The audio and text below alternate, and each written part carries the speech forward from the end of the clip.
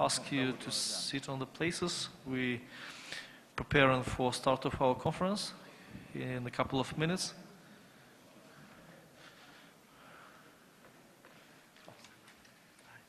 Hi, nice to meet you. I'd love to uh, focus your attention that some of our speakers will uh, present their reports in Russian language, so I would love to ask you to take the headphones and to find the channel uh, with translation. Uh, when other part will speak English, so I think it's okay.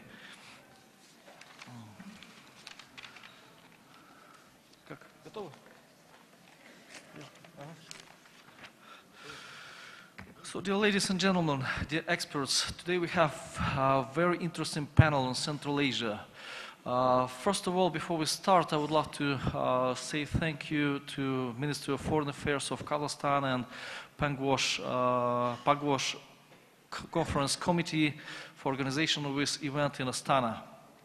Uh, today, Central Asia is under specific and intense global focus due to variety of different geopolitical and geoeconomical processes around it. So being the heart of Eurasia, we're in the center of all what's going on in the, in the continent. And we need to underline new context of security challenges in Central Asia. And I think that uh, our speakers today will discuss a little bit about the new realities in the region and how we see it from different states in Central Asia. Back to the topic of our uh, conference today about the nuclear weapon uh, and nuclear security, I would love to say that uh, even Central Asia is recognized as nuclear weapon free zone. Uh, nuclear threats for us are very actual and kind of we, we have it on agenda. I will tell you a few, few examples why. Let's take a look at Central Asia through lens of Shanghai Cooperation Organization. It's a very important regional structure, uh, but recent membership of India and Pakistan made uh, Shanghai Cooperation Organization as one of the hugest clubs of nuclear powers in the world. Uh, and these two new members uh, have not signed uh, the Treaty on Non-Proliferation of Nuclear Weapons. Second is, uh, we need to underline the growing uh, tensions around Iran and its nuclear missile program. Uh, and for example, it's uh, a couple of weeks ago, we had official promises from Tehran to reactivate its uh, nuclear program. It means that, uh, as minimum, Central Asia will face challenges and risks in cooperation in Caspian area. The third is no Northern Korea case. Even we don't have direct borders with Northern Korea, uh, what's going, the crisis is, go is going on in Korean Peninsula affects our region directly. All our foreign, key foreign partners are involved in this crisis. For example, uh, China, South Korea, and Japan are the key players in these processes. But, and for example, in the case of negative scenario, uh, Central Asian economic projects connected uh, with that part of Asia can be easily damaged. So this is the world is very close. So this all create new challenges for Central Asian security, new context, and uh, on behalf of whole our region, Kazakhstan being uh, the non-permanent member of UN Security Council, tries to reflect all these issues on the global agenda. So all these issues and even more uh, we will discuss today. I would love to ask uh, our colleagues, our speak, uh, distinguished speakers, to follow the time limits uh, in the reglement of our conference and to have up to 10 minutes in discussions to, to allow to our audience uh, to have a Q&A and to share with us some comments on the, our reports. Uh, so we will start with our first presentation with Mr. Yerzhan Saltybayev, who is the director of Institute of World Economic and Politics under the foundation of the first president of Kazakhstan. Uh, he will speak. Yeah, please. Thank you very much. Uh, actually, I will speak in Russian, so please uh, use your headphones uh, because I didn't have enough time to just to prepare it in, in, in English. So uh, maybe in the Q&A question, uh, Q&A session, I, I will try to do my best uh, to answer all your questions uh, in more uh, like language you, you understand, most of you. Um, более uh, 25 лет назад произошла трансформация нынешних, точнее бывших пяти республик Советского Союза в пять независимых государств Центральной Азии. И с этого момента, с 92 года технически, страны Центральной Азии стали играть каждую свою роль в вопросах международной безопасности и в том числе ядерного нераспространения. Из-за своего географического положения Центральная Азия является неизбежной точкой пересечения целого ряда интересов нескольких центров сил. То есть это в первую очередь Россия, Китай, а также в целом Запад в лице в первую очередь США, но также нескольких других активных игроков, таких как Великобритания. Конкуренция глобальных региональных держав напрямую начала влиять на дальнейший политико-экономический курс развития этого региона. А, в результате в определенной степени страны региона стали развиваться по разным а, траекториям развития, в разных направлениях. А, начало происходить в определенной степени э, дезинтеграция региона, который раньше имел более гомогенный, более единый характер. В советское время, кстати, подчеркивалось всегда в отношении региона, говорилось э, Казахстан и Центральная Азия. Тем самым как бы граница проводилась по южной границе Казахстана. Затем э, концепция изменилась и стали говорить Центральная Азия, включая Казахстан.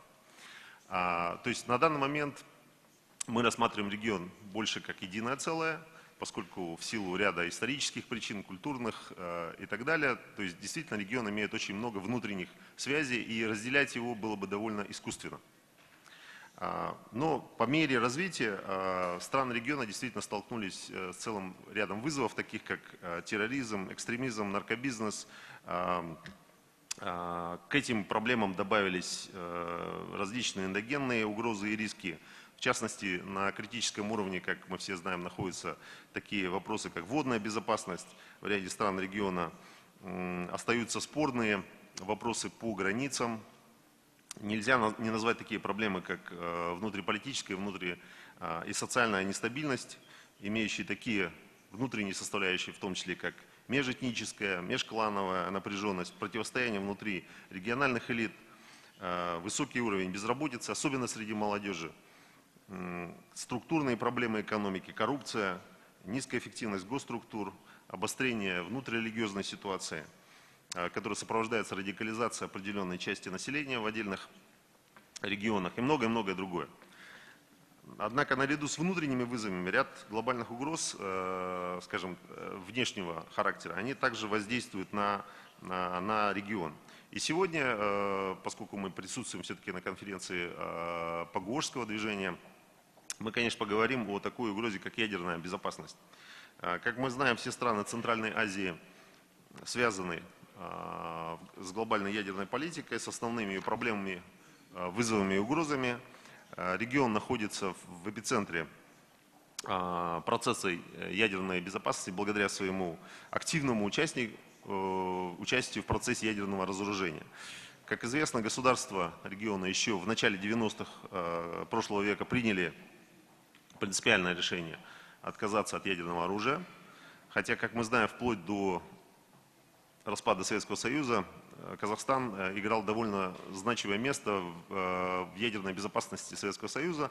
Здесь находились основные, и находятся, кстати говоря, до сих пор одни из основных источников мировых добычи урана. На территории также находились целый ряд объектов военно-промышленного комплекса. А, военные дивизии, которые обеспечивали и обслуживали находящиеся на территории межконтинентальные баллистические ракеты, тяжелые бомбардировщики, ядерные боеголовки и так далее, и так далее.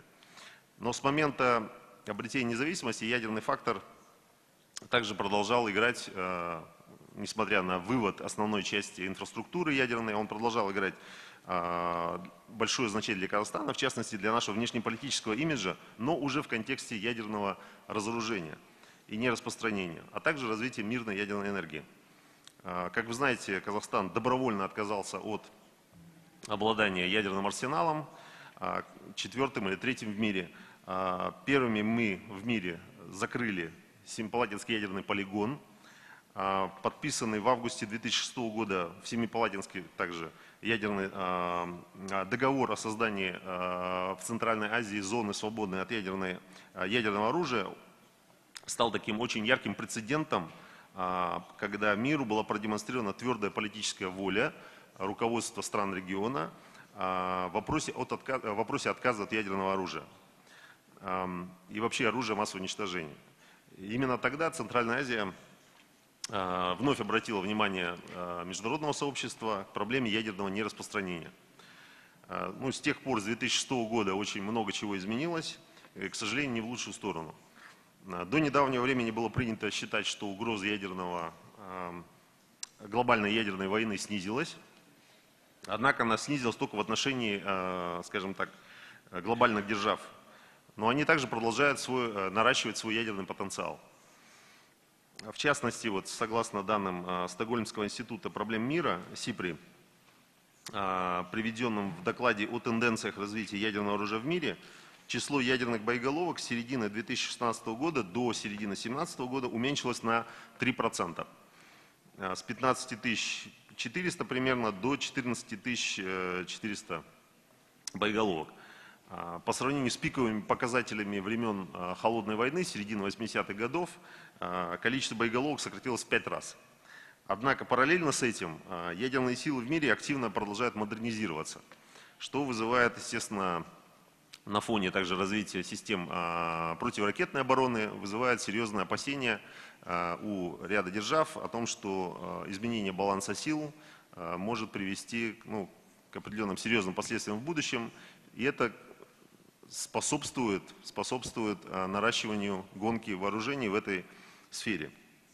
А, Вот в частности, по данным бюджетного управления Конгресса США, расходы а, американцев на обновление авиации, ракетно-наземного базирования и подводного ядерного флота э, предстоящие 10 лет составят где-то примерно 400 миллиардов долларов. Это примерно ВВП такой средней, э, немаленькой страны в мире. А Расходы России э, в докладе не указаны, но отмечено, что она активно обновляет все компоненты ядерной отряды. Обновляются также ядерные силы Великобритании, Франции, Китая, Индии, Пакистана, ну, вероятно, Израиля также. А, Нельзя не отметить, что обновление ядерных вооружений сочетается а, с ростом напряженности между глобальными державами. В первую очередь это Россия и США, у которых располагают 90% всех ядерных развернутых боеголовок. А, Еще большую озабоченность вызывает ситуация вокруг КНДР, Ирана, а также в меньшей степени, но также Пакистана и Индии. В случае с Ираном э, вопрос об иранской ядерной программе был решен положительно подписанием соглашением э, между э, Ираном и ядерной шестеркой в 2015 году. Однако сегодня мы видим обострение отношений между Ираном и новой администрацией США. Есть предложение, предположение, точнее говоря, что новая администрация а, стремится отменить подписанное предыдущей администрацией Обамы соглашение. А, Введенный недавно против Ирана а, пакет санкций подтверждает эту тенденцию. В случае отмены соглашения, конечно, вопрос об иранской ядерной программе вновь может стать в повестку дня. А, К Северной Корее, вопреки всем международным нормам и запретам МАГАТЭ, продолжает на- наращивать ядерный потенциал. На фоне последнего обострения ситуации на Корейском полуострове вновь актуальной стала угроза, э, угроза ядерного конфликта. Э, Конечно, как утверждают специалисты, Северная Корея не станет совершать суицид, она не будет применять э, ядерное оружие в отсутствие а, факта нападения на свою территорию. Однако, если она посчитает, что подвергается атаке и правительство находится под угрозой, то неважно, намерены при этом США или нет на самом деле ей угрожать, но она может использовать теоретически свой ядерный потенциал.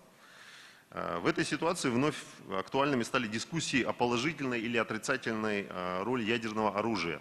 То есть является ли оно фактором а, сдерживания, является ли оно фактором, который способствует поддержанию мира и стабильности между странами или наоборот. В- ну, В частности, часть экспертов довольно авторитетно считает, что вот Третья мировая война не случилась только по одной причине, что у Советского Союза и у США был ядерный арсенал который их взаимно удерживал от каких-то резких действий.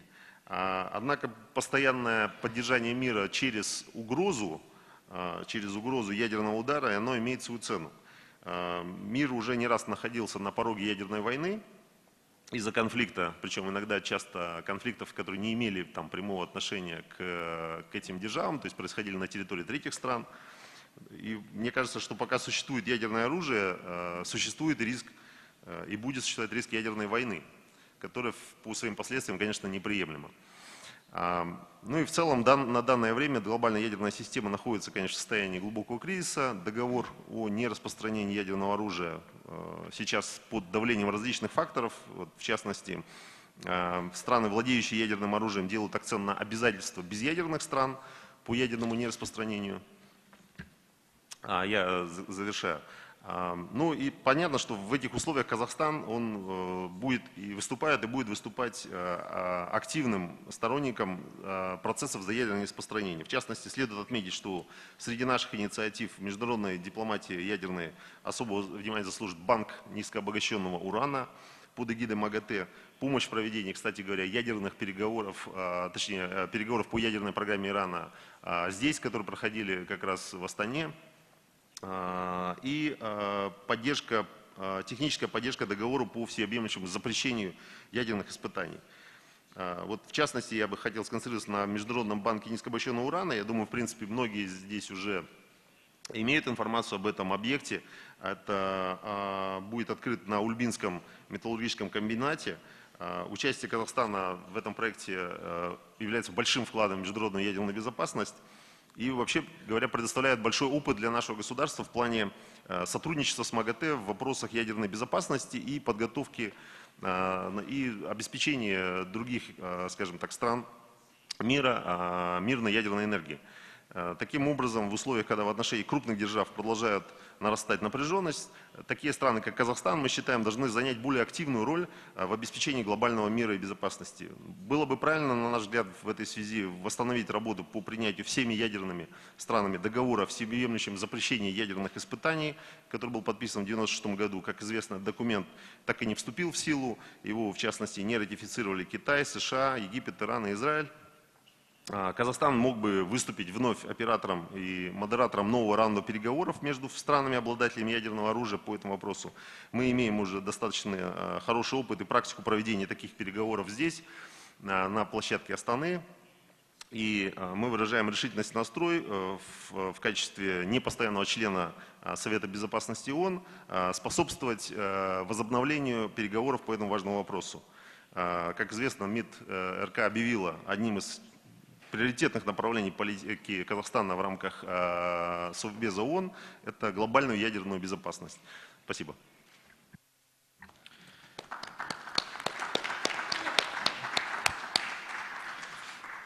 Thank you, Mr. Saltabayev, for following the time limits and for your interesting report, very well connected to the topic of our conference. Uh, I think that you'll have more options to ask the questions to Mr. Saltabayev, and I would love to uh, introduce you the next speaker, Mr. Hakim Abdullah, who is the head of think tank from Tajikistan, who's called as Foreign Policy and Analysis and Forecasting Center for Strategic Studies, who will speak more f- about the regional security from Tajik side. Mr. Abdullah, please. very much. Уважаемые участники конференции, я также продолжаю тему безопасности региона, имеется в виду Центральной Азии.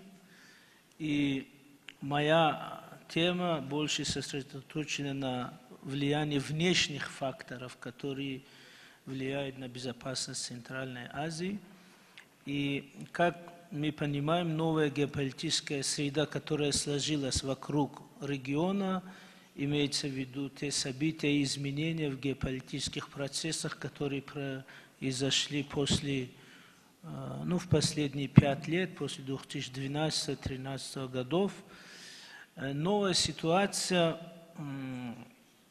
э, привела к такому обстоятельству, что влияние внешнего фактора на внутреннюю ситуацию стран Центральной Азии постоянно увеличивается, и мы наблюдаем такой процесс, что теперь для сохранения стабильности, э, безопасности и развития в странах региона э, недостаточно только хорошей внутренней политики, но ситуация будет зависеть от э, формирования геополитического баланса вокруг региона и вокруг каждой из стран. Поэтому это э, надо констатировать э, увеличение или усиление влияния внешнего фактора на внутренние процессы этих стран. В такой ситуации э, в таблице или в списке приоритетов каждых из этих стран происходит в кардинальные изменения и такие ценности или приоритеты, как защита государственной независимости, защита национального единства, стабильности, безопасности и так далее, они снова выходят на первый план. И поэтому э, в странах Центральной Азии формируется э, внутренняя политика, которая более акцентирует на безопасность и стабильность и единство. Это есть серьезные изменения, которые э, происходят под влиянием внешнего фактора. А, В такой ситуации другим фактором, который непосредственно может угрожать безопасности и стабильности Центральной Азии, это изменение ситуации в Афганистане. Под изменением ситуации в Афганистане мы имеем в виду, что первое, что в последние 2-3 года резко изменилась география нестабильности в Афганистане, и вот зона нестабильности с юга Афганистана переброшена на север Афганистана. И наблюдается, что вот это изменение имеет некоторые а, признаки планированного акта и даже переброски сил международного терроризма с южного Афганистана на север Афганистана, вблизи границ Центральной Азии и Китая. А Второе серьезное изменение – это активизация ячеек террористической международной группы ИГИЛ или ДАИШ на севере Афганистана, что тоже коренным образом меняет э, характер театра войны здесь и э, масштаб террористических угроз всему региону. И, к сожалению, вот это изменение идет на фоне резкого изменения геополитической ситуации, о котором я уже говорил, и таким опасным моментом для Центральной Азии является возможность геополитического применения террористических групп э, со стороны, э, так скажем, больших игроков в регионе. И поэтому э, в такой ситуации мы должны сосредоточиться на то, что новый вид или новый уровень угрозы и новый масштаб террористических угроз э, отличается по некоторым параметрам от того, что мы имели буквально даже 3-4 года назад, потому что в отличие от талибов, э, которые все-таки, несмотря на некоторые их заявления, все-таки имели замкнутый этнический локальный характер, Даиш претендует на глобальные идеи, и Даиш не признает границы государств.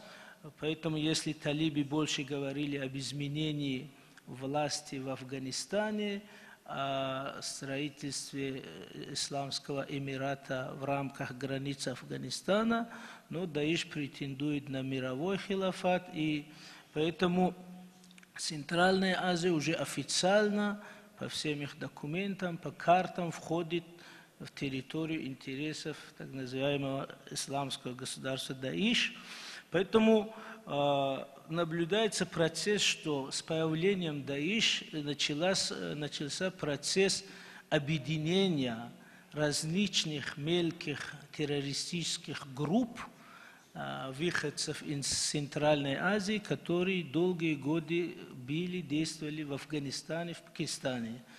Например, э, террористические группы из выходцев из Таджикистана, Узбекистана, других стран Центральной Азии, Кавказа, а, из Цинзяна, китайского Цинзяна. Теперь они постепенно объединяются под единым черным интернационалом ИГИЛ на севере Афганистана. То есть это говорит о том, что появление ИГИЛ содействует организ... формированию единого э, террористического фронта против Центральной Азии на севере Афганистана.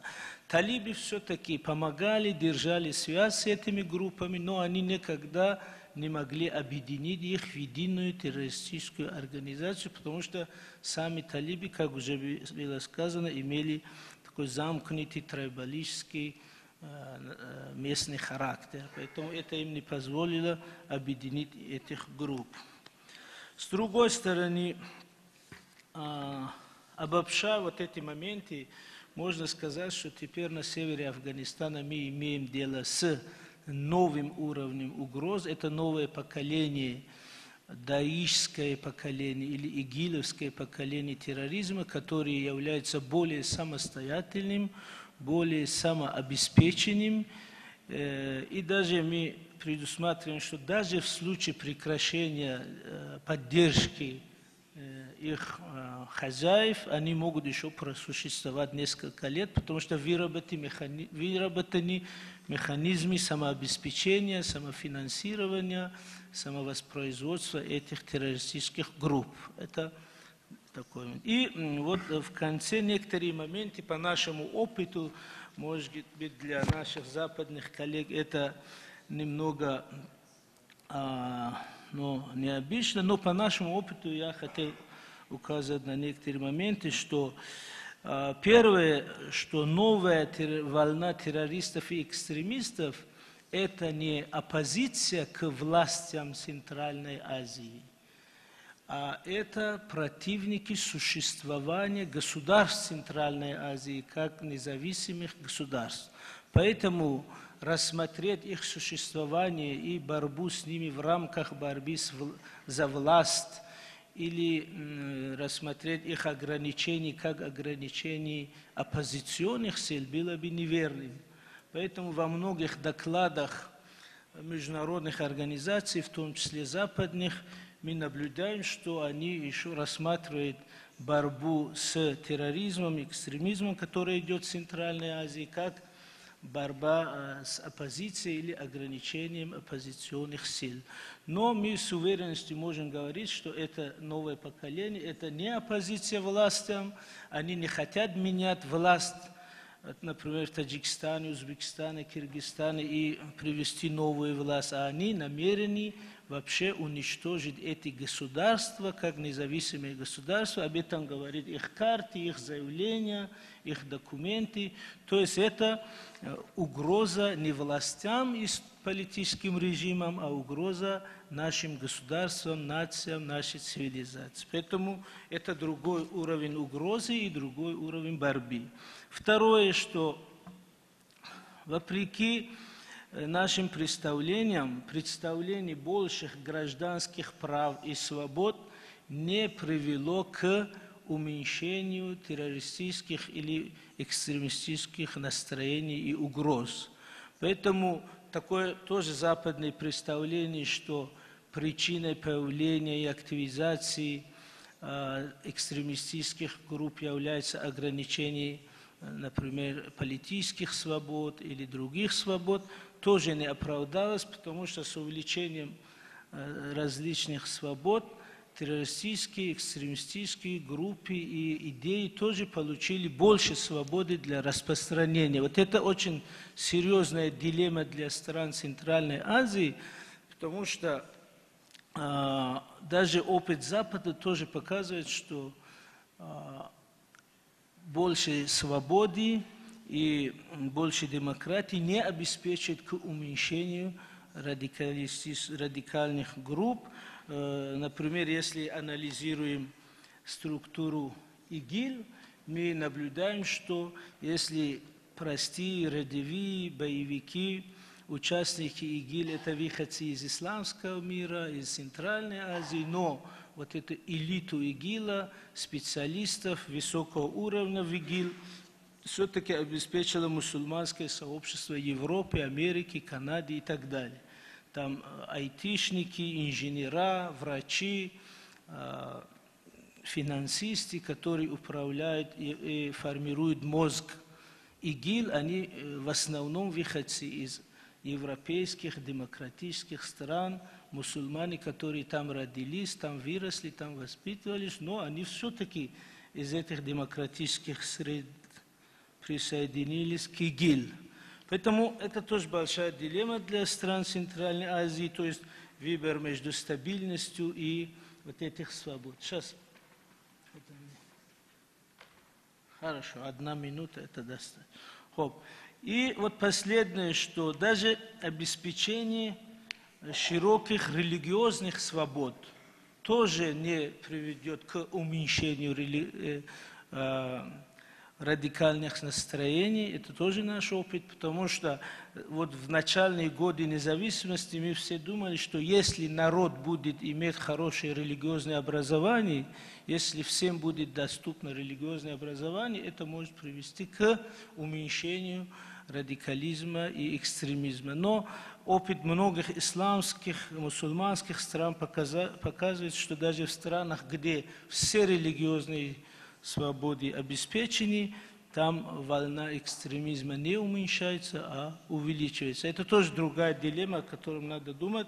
И вот э, э, в конце э, для обеспечения стабильности Центральной Азии и лучшей борьбы с экстремизмом мы э, акцентируем на необходимость э, сохранения центральной сильной власти в Афганистане, потому что если эта э, волна не будет остановлена в самом Афганистане, для Центральной Азии это будет очень трудно. Поэтому мы в рамках своих интересов э, за то, чтобы в Афганистане сохранилась сильная, центральная, легитимная власть, которая могла остановить вот этот процесс. А Республика Таджикистан находится на передовой линии фронта этой борьбы.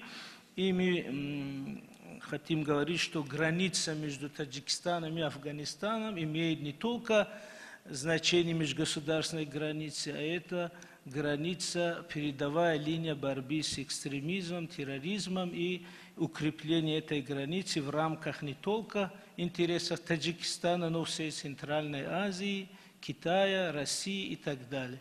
Вот это мое мнение. Спасибо. Если будут вопросы.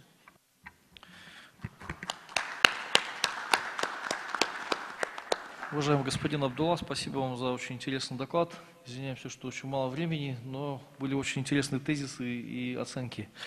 We need to thank Mr. Abdullah for his very interesting insights about Afghanistan situation and its threats to Central Asian security. If to reflect it uh, on our topic on nuclear security, would love to need, we need to underline the kind of uh, the alert uh, what's going on in South Asia and its real potential threat to, I don't know, to nuclear uh, weapon capacity in Pakistan. You know, uh, Kazakhstan uh, sets a nuclear plant uh, in Usk-Minogorsk, so this is potential threat to uh, from terrorism too. So this is a very important topic, and I think that you will have more questions on terrorist uh, risks and challenges in the region. And I would love to give another word to our next speaker, Mr. Muratbek Manaliyev, who is a very outstanding uh, expert in Central Asia, who was a former Minister of Foreign Affairs. Mr. Manaliyev, please, your word. Спасибо большое, господин председатель. Прежде всего, я имею приятную обязанность поблагодарить организаторов за очень хорошую организацию сегодняшнего мероприятия. Мой опус называется «Миротворческий потенциал Центральной Азии». Центральная Азия входит в разные, в разные состоявшиеся и двигающиеся в направлении возможного конструирования политические, экономические и даже цивилизационные пространства, в том числе, например, СНГ, Азии, тюркоязычного исламского миров. Вхождение в разные пространства, разумеется, во всяком случае пока остается достаточно условным, за исключением, может быть, СНГ. Последнее вообще уникальное политическое международное сооружение, собранное не из самостоятельных независимых государств, стремившихся к единению, а из обломков единого огромного некогда государства. И сегодня СНГ все-таки не столько международная организация, сколько некий исторический процесс, способствующий плавному и безболезненному возникновению существования новых независимых государств. Хотя Центральная Азия формально считается частью исламского мира, тем не менее фактически она еще таковой не стала. В большей степени регион остается до сих пор фрагментом постсоветского пространства и отделен от остального мира – в том числе исламского, унаследованными, инерционно еще достаточно мощными ценностными емкостями советского цивилизационного обустройства, в том числе, например, образовательной системы, лингвокультуры, функционирующими до сих пор социалистическими образами и символами, даже некоторыми элементами мировоззренческих конструкций, которые, правда, медленно размываются, разрушаются, но очевидно и то, что просуществуют они еще довольно долго. Не в последнюю очередь на пролонгацию и функционирование воздействуют события в географической полосе мусульманских государств от Афганистана до Северной Африки. Они провоцируют и укрепляют стремление государств Центральноазиатского региона неким образом отгородиться от всего того, что происходит в этой вот географической полосе, используя, во-первых, весьма скромные свои возможности, во-вторых, союзнический и партнерский потенциал России и некоторых других стран, и в меньшей степени, и в-третьих, военно-политический иной капитал действующих в регионе международных структур и организаций. Вызовы и угрозы, прежде всего связаны с религиозным экстремизмом, терроризмом и иным проявлением трансграничной преступности – Несмотря на то, что страны Центральной Азии в основном населены мусульманами, тем не менее по содержанию, качеству и даже колориту в принципе мало чем отличается от того, что, например, происходит в Европе. Между прочим, отметим, что частота и масштаб экстремистских проявлений событий в Центральноазиатском регионе на порядок ниже, чем во многих других странах. Продолжение темы для пущей наглядности напомню лишь об одном весьма, на мой взгляд, поучительном и очевидном факте из жизни центральноазиатских государств. О том, что Ферганская долина вот-вот взорвется и станет ужасающей зоной бесконечных конфликтов, не писал только ленивый, и не только на Западе, и не только в Азии. Но вот прошло уже 25 лет, и долина живет, в общем-то, достаточно мирно и почти стабильно. Да, были и конфликты, и террористические акты, но, еще раз повторю, не чаще и не страшнее, чем в других регионах планеты. И надеюсь, что это будет и так далее. Вместе с тем в странах Центральной Азии отчетливо понимают опасности и угрозы, которые несут и нарастающее геополитическое противостояние великих держав, борьба за ресурсы, террор и религиозный экстремизм. В этой связи хотелось бы сказать несколько слов не о влиянии ислама на формирование и реализацию внешнеполитических интересов, а некоем возможном совместном прорелигиозном проекте стран нашего региона, например, о проекте геополитического посредничества. Но прежде чем предложить мировому сообществу свои услуги в качестве геополитического, религиозно-культурного посредника между мировым исламом и другими цивилизационно-культурными ареалами планеты, необходимо прежде всего понять, каким потенциалом, ресурсами располагает центральноазиатские государства в совокупности и индивидуально для выполнения той весьма сложной миссии – Следует признать, что на сегодняшний день возможности центральноазиатских государств ограничены, либо наоборот, широки настолько, насколько они дееспособны как независимые государства, и насколько адекватно и полноценно понимание элитами Центральной Азии значимости региона как реально сконструированного международного политического пространства, в том числе, конечно, имеющего глобальное измерение.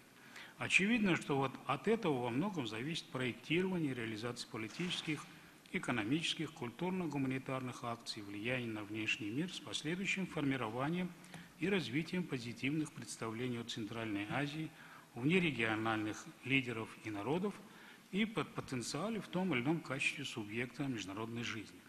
Разумеется, что центральноазиатские страны, в свою очередь, испытывают влияние прежде всего ведущих держав и некоторых межстрановых объединений на функционирование и развитие тех или иных политических институтов – государствах региона, социально-экономических контентов, общественных отношений, внешнеполитических стратегий и многого другого. Однако представляется, что влияние сильных мира сего на формирование институционального развития государств региона было и остается не более чем фрагментом. Например, попытки Запада демократизировать Центральную Азию не имели всеобъемлющего и программного подхода, в частности, право и нравственность, как ценностные приоритеты и ограничители, без которых демократия не более чем анархия и ахлократия – были представлены в процессах демократического всеобыча секторально право, либо вообще отсутствовали, например, нравственность и идеология. Тем более, что некоторые центральноазиатские ученики осознанно или по незнанию превращали демократию в некую декорацию, за которой скрывалось безобразное управление, коррупция, криминал и так далее. Игнорируя то обстоятельство, что переход к демократии требует все-таки достаточно хорошего уровня экономического развития, что готовность людей к демократии не есть стихия – а это некий сгусток и квинтэссенция воли и законности. При этом я, конечно, разделяю мнение ряда отечественных и зарубежных экспертов о том, что упомянутые проблемы все-таки больше относятся к категории проектных решений внутренними усилиями элит и народов региона, разумеется, при условии, что они не только проявляют интерес, но и в определенной степени готовы к их реализации. Не секрет, что в странах Центральноазиатского региона полностью осознают, что их регион был остается геополитической периферией, и интересы ведущих государств, окружающих Центральную Азию, и имеющих здесь определенные интересы, весьма и весьма неоднозначны в смыслах, трендах, механизмах, в том числе и в процессе реализации своих проектов. Регион должен быть как бы единым, чтобы противостоять современным вызовам и опасностям. Не в последнюю очередь сконструированным в силу или в противодействии вот этой вот периферийности. Какие это могут быть способы нейтрализации или нивелирования периферийности? По счастью, они есть и могут быть достаточно эффективными. Например, могут ли центральноазиатские государства использовать свою относительно фрагментарную инкорпорированность в Европу и формальную принадлежность миру ислама для собственного становления в качестве реальных субъектов современной международной жизни с одной стороны и формирования диалоговых коммуникаций между, например, теми же европейскими и исламскими странами с другой стороны. Насколько противоречивы, либо вообще антагонистичны ценностные ориентиры Запада и исламского мира, и каков их ресурс влияния и доминирования, в том числе эгоистичных и циничных интересов стран, конкретных людей обоих миров, на основе которых выстраиваются их позиции. Как мне представляется, историко-культурные и иные необходимые обоснования, в принципе, конечно, наличествуют. В частности, Центральная Азия была всегда местом схождения цивилизационно-культурных потоков и мировых религий, при этом играя роль внутриконтинентального связующего коридора, правда, без ярко выраженного в смыслах прогресса, как это понималось в Европе, но с функцией интеграционного начала, с экстенсивной механикой развития. Последнее, в общем-то, в большей степени относится к культуре кочевнической мобильности в контексте политических, экономических и иных потребностей, отражавших мировосприятие евразийских номадов, историческая миссия которых, на мой взгляд, заключалась в том числе и в перемещении неких, порой виртуализированных ценностных емкостей из одного культурно-цивилизационного пространства в другие, другое, но которыми, как это ни странно и парадоксально, они сами никогда не пользовались.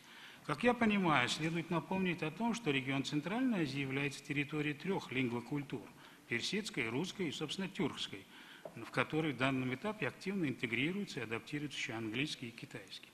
В настоящее время новые государства Центральной Азии, стремящиеся к построению собственных моделей национальной государственности, одновременно пытаются возродить и реконструировать смыслы, пока, правда, в контурах, посреднической интеграционных традиций, существовавших ранее. Правда, следует признать, что унаследованы, в общем-то, лишь некие фантомные остатки этих традиций. Собственно, сами смыслы и конструкции, к большому сожалению, стерты из памяти. Но абсолютно очевидно, что сегодня в Центральной Азии идет процесс формирования новых смыслов. На данный момент некоторые интересные инициативы, которые, откровенно говоря, пока еще с определенной натяжкой можно категориально относить к формулам подобных традиций, находят понимание и поддержку других государств. Например, казахская СВМДА, узбекская безъядерная зона, таджикские водные инициативы и так далее. Даже туркменский нейтралитет в понятном смысле можно рассматривать как стихийно возрожденный внутренний позыв к реставрации этих политических конструкций. Эти инициативы поддержаны многими европейскими исламскими государствами. Однако требуется их развитие не в сторону организационно-политических трендов и сиюминутного... Сейчас, одну минуточку улучшения имиджа, а в распространении качества устойчивых, позитивно воспринимаемых другими странами идей ценностных ориентиров, большую часть из которых можно реализовать с Россией, другими странами СНГ, ШОС – и некоторыми странами Европы, Среднего и Ближнего Востока. В частности, с моей точки зрения, было бы, было бы возможно создание безъядерной зоны в Центральной Азии для укрепления идеи нераспространения отказа от использования атома в центральноазиатскими странами военных целей. В этом контексте – как мне кажется, следовало более масштабно и полноценно использовать решение Евразийского мусульманского Казахстана, который добровольно отказался от статуса ядерной державы. Отказ – это не просто некая механика внешнеполитической конъюнктуры, а содержательно непростое, не одномоментное, и, в общем-то, болезненное и общее, согласованное как внутриполитическое, так и международное решение. Полагаю возможным, что согласованные активные действия стран Центральной Азии, приведущие в этом деле роли Казахстана и поддержки ООН, других международных организаций, отдельных государств были бы способны привлечь к этому процессу широкий круг исламских и европейских стран, включая, например, такую страну, как Иран. Почему бы не подумать о присоединении Афганистана к центральной безъядерной зоне? Может ли Центральная Азия оказаться в тренде содействия странам Ближнего Востока созданию безъядерной зоны в этом регионе? В этом контексте было бы актуально и полезно для стран региона вынести повестку дня Центральноазиатского сотрудничества проблему нераспространения в ее более насыщенном, динамичном, конструктивном виде, а не ограничиваться только подписанием договора о создании безъядерной зоны. Необходима верстка региональной безъядерной политики и ее инструментов. Добавлю лишь то, что актуальность этой проблемы не вызывает никакого сомнения. И Центральная Азия, к большому сожалению, окруженная ядерными державами, а также странами, намеревающимися стать таковыми, должна быть более укреплении и развитии этих идей. Пока из всех центральноазиатских лидеров на этом направлении заметна роль только казахстанского президента. Очевидно, что важнейшей ведущей компонентой диалоговых коммуникаций должна быть страна безопа проблем безопасности. Трансграничная преступность, выражаемая перманентной эскалации терроризма, наркотизме, торговле людьми оружием, требует большей активности, результативности, совместных деятельностей великих и невеликих, в том числе центральноазиатских держав, глобальных, региональных организаций неправительственных и общественных объединений. Но поскольку мое время вышло, то я остановлюсь здесь. Спасибо вам большое за внимание.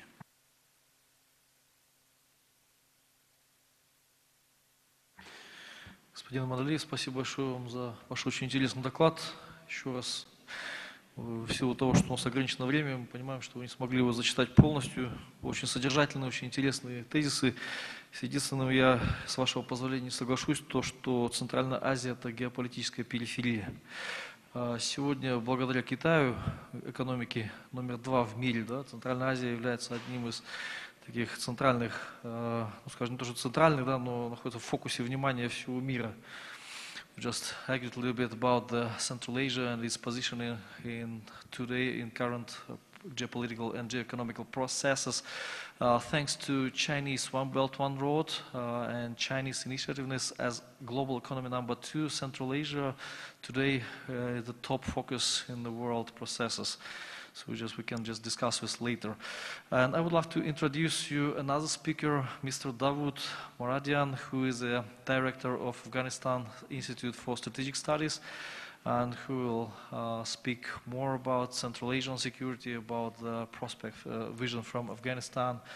Thank you so much, please. Uh, uh, Thank you very much. Uh, uh, Good afternoon, ladies and gentlemen. I'm grateful once again to, to Pagwash to give me this opportunity, particularly the second opportunity. As some of you recall, I had the, the honor to be on the yesterday's uh, panel. And it's more interesting since, uh, uh, as you noticed from my yesterday's comment, that uh, when it comes to the question of the Taliban, uh, I'm not following the Pagwash uh, usual line. So to have someone come from a different perspective and give the opportunity to speak, I think it shows the generosity, generosity of Pagwash to give platform for people who not necessarily follow their line on some issue here. Uh, I would like to uh, speak on two uh, issues. One is on the state of bilateral relation between Afghanistan and Central Asia, and in particular, uh, my interpretation of how Central Asia look at Afghanistan and how we look at uh, Central Asia from Kabul perspective. And the second uh, uh, uh, part of my presentation will be on the question of the Daesh, Taliban, terrorism, extremism uh, in the context of Afghanistan and Central Asia. About how I think the Central Asian view of Afghanistan, I can categorize the Central Asian view of Afghanistan into three categories. Uh, one is that they look at Afghanistan as a backward part of the world. Uh, and that view of Afghanistan as a backward, underdeveloped, tribal, was uh, originated in the Soviet time. That it, there was a deliberate uh, policy during the Soviet time in order to consolidate uh, for Soviet presence in Central Asia. They project Afghanistan as a backward, uh, underdeveloped, tribal, unruly uh, place. And that view of Afghanistan has taken root in the psychology of many people in Central Asia here. The second view of Afghanistan in Central Asia is they look at Afghanistan as a zone of danger. And again, that view was shaped by the Soviet invasion of, of Afghanistan and the fact that many of uh, Soviet soldiers who served in Afghanistan came uh, from Central Asia here. And many families in Central Asia, they have lost a member of their family in Afghanistan. So really, they ha- have uh, that negative view of Afghanistan. And then after the Soviet invasion, we have the question of this, uh, the, the, the terrorist activity in Afghanistan, the drug issue uh, here. So really, there is this view of Afghanistan as a center of all uh, threats, and it is almost become a common, sen- common wisdom in Central Asia to, to speak uh, Afghanistan as a center of threat coming uh, to, towards Central Asia. The third view that is emerging here and there, they look at Afghanistan as a zone of opportunity. Zone of opportunity and, a, and a way that, uh, because as we all know that uh, uh, Central Asians uh, are, some of them are landlocked uh, uh, states, and they look at Afghanistan as a way to uh, get away from uh, uh, uh, uh, the geographical isolation, and uh, they look opportunity in, in Afghanistan here. But that view of Afghanistan as a land of opportunity is uh, in minority. It is more prevalent in Kazakhstan. Uh, uh, we have a lot of, because of that, a lot of interaction that we have between Afghanistan and uh, Kazakhstan. Uh, I think that view of Afghanistan as land of opportunity is prevalent. Whereas in Uzbekistan, Turkmenistan, Kyrgyzstan, and even in Tajikistan, it's not that much popular to look at Afghanistan as a land of opportunity. What we view of Central Asia, again, I can categorize into three categories. Uh, again, uh, uh, it is only my view. I'm not speaking on behalf of all Afghans. It is just my interpretation. One is that uh, we see Central Asian as a source of invasions, because if uh, you read history, the Genghis Khan came from Central Asia, and they destroyed uh, our country, our civilization here. And the second invasion also came from our northern border, which was the Soviet uh, invasion uh, here, here. So again, for us, historically, uh, Central Asia has been a source uh, uh, of in, uh, invasion from, from northern border here. The second view of uh, uh, Central Asia, which is very prevalent in many parts of Afghanistan, we see Central Asia as extended family. And that extended family, again, take roots in history. That the history after uh, Genghis Khan, we had the Timuri dynasty.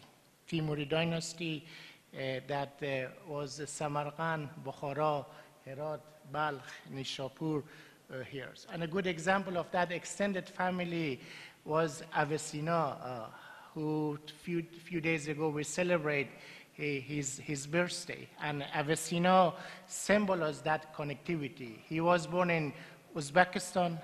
His father was from Balkh, Afghanistan. He spent some years in Iran. He went to Baghdad. He studied in Baghdad, and he died in Hamadan.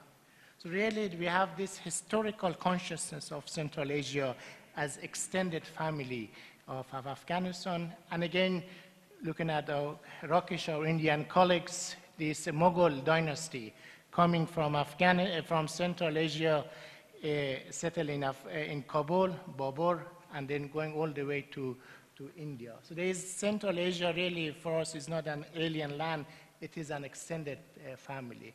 And historically, there was a competition between Samarkand and Herat, similar between London and Paris uh, here in terms of the, which are more sophisticated in terms of cultures, fine art. So there was this uh, healthy competition between Samarkand and Herat.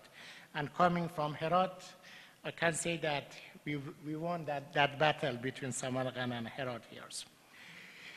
Uh, the third um, uh, view that it is which more current, we look at Central Asia uh, as an uh, alternative to South Asia or as complementing to, to South Asia here. So there is a deliberate efforts in Kabul by the Afghan government and the policy community in Kabul to really extend our relationship uh, with Central Asia as a way to uh, minimize uh, uh, our over dependency over Central, over South Asia. So, really, there is a strategic decision in Kabul to extend our relationship uh, with, uh, with, Central, um, uh, with Central Asia as a way to uh, complement our existing transit, our existing connection with, with West Asia and uh, South Asia.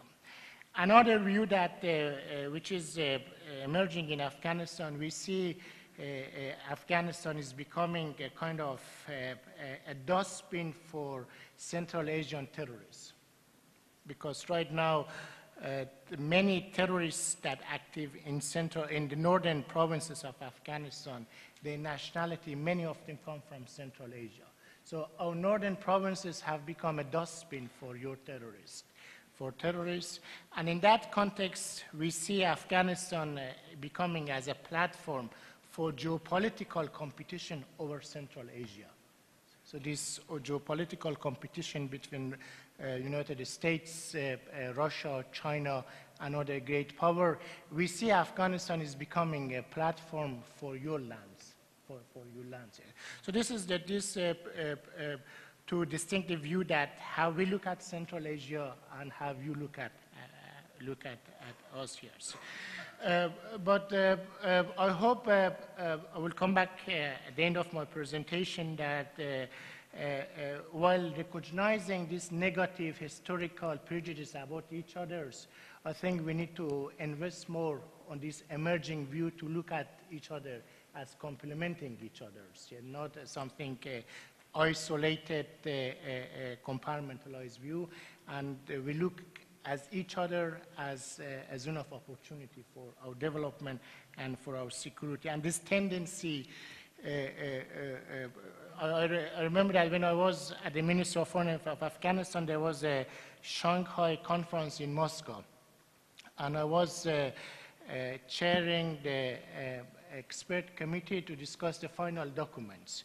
And our Russian hosts put the word that building a belt around Afghanistan in order to insulate Central Asia and the Shanghai region from the threat that coming from Afghanistan. And I spent two hours discussing with the, our Russian colleagues that this is a wrong approach, that you cannot erect a belt around Afghanistan because the type of threat that we are talking, they do not recognize belt. So rather than uh, building a, a, a, belt, a wall between Afghanistan and Central Asia, we have to build bridges. Bridges, both physical bridges, but more importantly, political and psychological bridges. Therefore, we have to resist this notion of uh, building wall between Afghanistan and Central Asia, but working on building uh, bridges uh, to enhance connectivity here. So that is the first part of my presentation. The second part of my presentation about uh, this uh, uh, Daesh uh, Taliban's. And as uh, we heard from our colleagues uh, from Central Asia, their concern is about Daesh in Afghanistan. And when I go to conferences, to meeting to different parts of the world in recent year, year one of the first questions I'm asked is about Daesh. Is there any Daesh in Afghanistan? What is my assessment of the spread of Daesh in Afghanistan? And then I ask this question by asking a number of questions. And I say, so what do you mean by Daesh? If you want me to answer this question about Daesh activity in Afghanistan, tell me what is your definition of, of Daesh in Afghanistan. Then based on your answer, I can tell you how much Daesh is uh, spreading in Afghanistan. And is Daesh for you is an ideological phenomenon or an organizational phenomenon, which uh, His Excellency Mr. Al-Shahrastani alluded uh, this morning. If, if we were talking about an ideological phenomenon called Daesh, yes, we have Daesh in Afghanistan. Daesh in terms of ideology, and the Taliban are or Daesh. And I, uh, I challenge anyone to disprove to me that ideologically Taliban are different from, uh, from Daesh. Practically, uh, we can have the discussion with Paulo in Afghanistan or if you invited me again to have this conversation that, uh, so ideologically, Eh, they are the same phenomenons. They are part of this uh, global phenomenon of uh, pan-Islamism. Pan-Islamism, that it is a global phenomenon. Practically, one of my researchers compare Daesh practice with the Taliban and he found a lot of similarity. For example, the ladies from Japan who, who again reflect the Pagwash thinking, look what Taliban did in Bamiyan. They destroyed Buddha statues. The way that Daesh did in, in, in, in Raqqa, in uh, here, yes. Look how uh, Taliban uh, uh, treated Hazara, Shia in Afghanistan when in our power. Look how they treated other minority here. So therefore, when it comes of both the ideology and the practice of the, of the Tal- Taliban, they are the same here. So ideologically, yes, we have uh, Daesh in Afghanistan, but organizationally, uh, uh, uh, no, there is no organizational connection between Daesh uh, in, in Afghanistan. Two-thirds of group that claim to be Daesh in Afghanistan, particularly in Nangarhar, they come from tribal region of, uh, uh, of Pakistan, Afghanistan. Two-thirds of them uh, uh, are tribal who have uh, formerly Pakistani citizen. And the remaining are these former Taliban who just take that, that, that brand here. So the third aspect is the geopolitics of, of uh, terrorism. Unfortunately, the geopolitics uh, of uh, here is that uh, once again we have example of the Russians following American models. As we know, Americans during the Cold War they used Islamists as a tool against uh, Soviet Union. Now, unfortunately, in Afghanistan, we, uh, and I'm not here on behalf of the Afghan government, so I'm not the business of propagating the, any government policy. And factually, Russia support Taliban's. And that has to, and the justification is that, okay, we need uh, uh, Daesh to fight Taliban. And the same thinking, unfortunately, is used by Iranian um, uh, security establishment, that they are supporting uh, uh, Taliban against the Daesh. And again, the Daesh, the geopolitics of the Daesh, we have unfortunately the Saudi Arabia. Again, Mr. Al-Shahristani says, it's not only the, the ideology of Wahhabism, it is the, the assistance, the material support that Saudi pro- provide for sectarian purpose and its geopolitical rivalry with Iran here. Yes. So really we have the geopolitics of the terrorism in, in our. So as a way forward, I just I will give uh, very uh, briefly, uh, once again, it is important that uh, the connectivity, connectivity among us, Afghanistan and Central Asia at all level. The, same, the second is the uh, uh, strengthening the state system in our region. The central government, again, as my colleague from Tajikistan emphasized, is that the central government in our region has to be supported. We should not do anything that undermine the legitimacy and the capacity of the central state. So it is the key partner in Iraq is central government. And whatever decision that central government of Iraq makes, we have to support it. The same, we have to support the state of Afghanistan. The second uh, is that the state sponsorship of terrorism. Yeah, there is no non-state terrorist uh, actor in Afghanistan or in the region. Behind every single terrorist uh, organization, there is a state. And we have to sever this link between the use of of uh, terrorists as a foreign policy, whether it be uh, uh, uh, Saudi, Iran, Pakistan, China, or for that matter, Russia. The third, it is important that we have to have a, a narrative and a t- ideological narrative, really. And it's not enough to say that Islam is of a, a religion of peace and the Daesh does not represent Islam. That is propaganda. This is not a counter narrative, yes. Really, we need a counter-narrative ideology. And again, Afghanistan and Central Asia as civilizational hub of Mawara Nar, that we have Samarkand and Bukhara, Herat, where the source of that ideological center that we have. And the fourth is that uh, it is important of, to have an inclusive politics. And I think if we have all together, we can succeed both in Afghanistan and Central Asia. And thank you very much.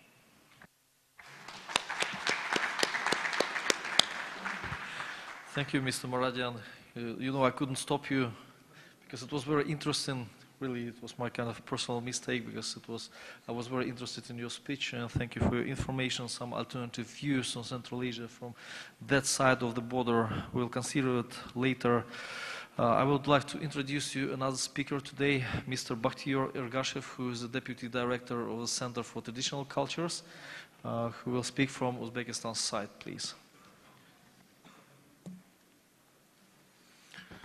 Добрый день, уважаемые участники конференции Погожского движения ученых.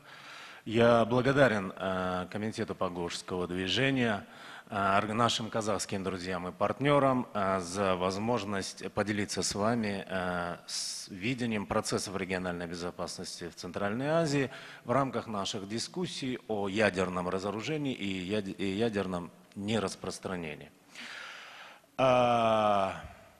И в своей презентации я бы хотел, она будет разделена на две части. В первой части я скажу о том, что было сделано в области, э, в этой области, в области ядерного нераспространения. А вторая часть – это необходимость диалога для поиска ответов на те вызовы, которые сейчас возникают даже после принятия договора о зоне свободной от ядерного оружия.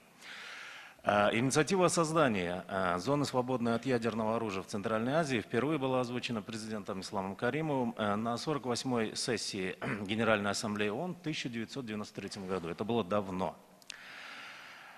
После эта инициатива была поддержана Генеральной Ассамблеей ООН, и, которая в 1997 году призвала поддержать усилия по созданию зоны, свободной от ядерного оружия в Центральной Азии на основе Ташкентского заявления министров иностранных дел Республик Центральной Азии в 1997 году.